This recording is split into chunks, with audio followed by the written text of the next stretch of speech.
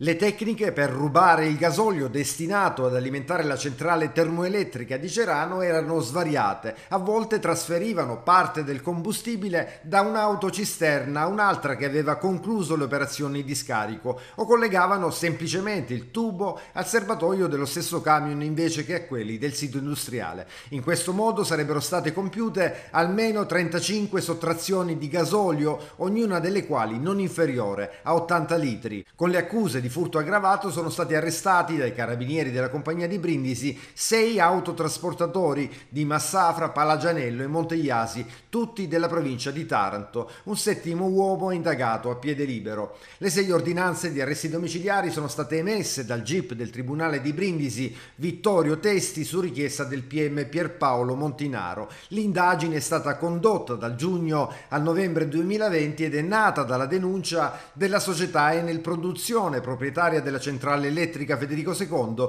che aveva registrato consumi abnormi di carburante non commisurati al normale esercizio della centrale elettrica. Enel Produzione acquista direttamente da Eni il gasolio destinato all'esercizio di apparecchiature ausiliarie e dei motori indispensabili per il funzionamento della centrale elettrica per circa 3.340 tonnellate mensili. Eni provvede alla fornitura del gasolio avvalendosi di autocisterne con servizio appaltato appaltato a una società che a sua volta utilizza altri trasportatori locali della provincia di Taranto. Le indagini condotte dai carabinieri di Brindisi hanno consentito di arrestare subito, in flagranza, un autotrasportatore ventottenne di Massafra con il contestuale sequestro di quasi 9.000 litri di gasolio sottratti alla centrale Federico II. Quindi sono stati documentati altri episodi con il coinvolgimento complessivo di sette autotrasportatori. L'accusa di furto nei confronti dei sei arrestati è aggravata dall'aver sottratto carburante destinato a pubblico servizio e a infrastrutture indispensabili per il funzionamento dell'impianto di produzione di energia elettrica.